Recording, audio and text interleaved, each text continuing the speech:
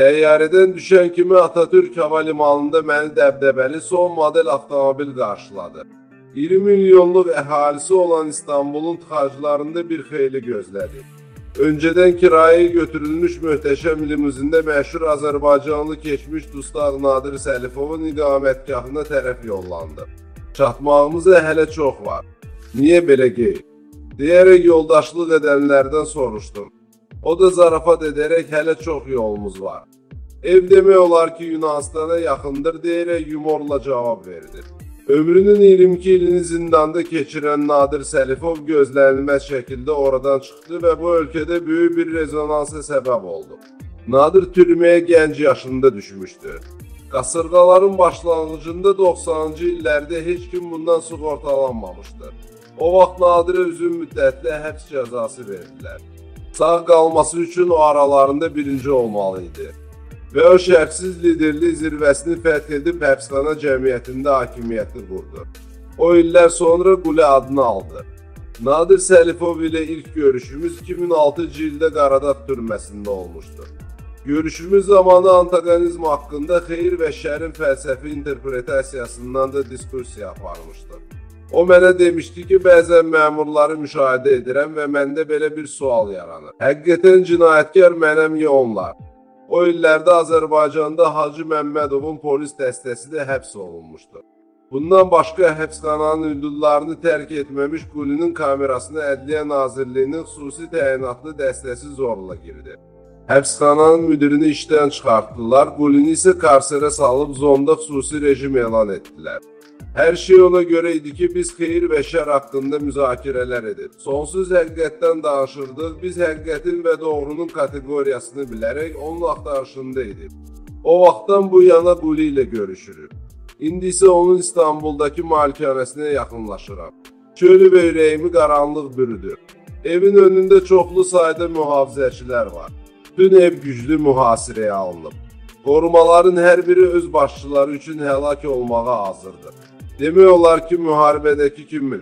Yalnız maraqlısı odur ki, nə üçün bu uşaqlar həyatlarını qurban verməyə hazırdır?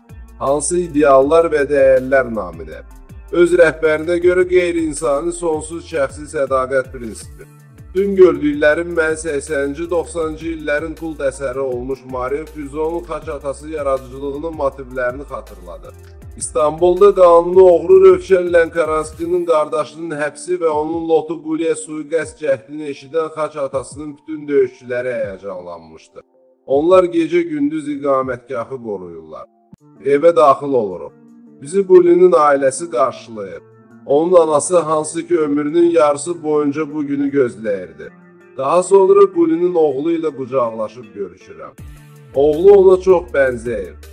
22 il küçələrdə onun haqqında əfsanələri və mifləri eşidərək böyüyür.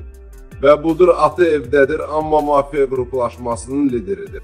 Haç atası döyüşlərə atılmağa hazır olan bir ordunun komandiridir. Nəhayət quli görünür. Uzun uzadı qucaqlaşmalar, göz yaşları və sevincimizi əks etdirmək üçün söz tapa bilmirik. Bizim azadlıqda görüşümüzdür. Bu yəqin taleyin istehzasıdır. Quli məni möhtəşəm süfrə arxasına dəvət edir. Bugün Qulinin evində bu masanın arxasında məşhur türk mafiyasının lideri Sədat Pəkər əyləşir. Sedat Pəkərin şəxsiyyəti məşhur Qurtlar Vadisi serialının baş qəhrəmanı Polad Aləmdarın obrazının özüdür. Onunla tanış oluram. O danışdıqca Osmanlı tarixi haqqındakı bilgisi, savadı məni yaxşı mənada təəccübləndirir. Pəkər türkçülüyün fanatik tərəfdarıdır. 2016-cı ildə Türkiyədə çevriliş cəhdləri zamanı tərəfdarlarını Ərdoğanı dəstəkləməyə çağırdı. Onun tərəfdarları İstanbul küçələrində qiyamçıların yollarını kəsdilər. Masa arxasında Qulinin qardaşı Namiq də əyləşib. O da kriminal avtoritetdir və İspaniyadan yenicə gəlib. Bundan sonra nə olacaq? deyə Qulidən soruşuram. O isə bilmirəm, hələ heç nə bilmirəm deyərək mənə cavab verir. Gedək təmiz hava qəbul edək deyərək birgə ayağa qalxırıq. Yenidən həyətə çıxırıq. Bizi onun qorumaları əhatə edir, elə bilə heç bu qədər vaxt keçməyib deyərək Quli sözə başlayır. Sən mənə Vasili Grossmanın romanını göndərmişdin. Mən onu böyük həvəslə oxumuşdum. Hər sətrini diqqətlə və maraqlı oxuyurdum. Dünən bu romandan maraqlı bir ifadə yadıma düşdü. Cavan qızın balda ilk rəqsi 25 il həbsdə olan dustağın yalnızlığından çoxdur və uzundur. Sanki heç bunların heç biri olmayıb. İndi isə aya baxıb mən səmaya öz barmağımı yönəltdim. Solğun və zərif gecə ulduzuna baxdım dayan sən çox möhtəşəmsən. Bu sətirlər Eynulla Fətullayevin Lotu Qulinin evindən rusca reportajındandır.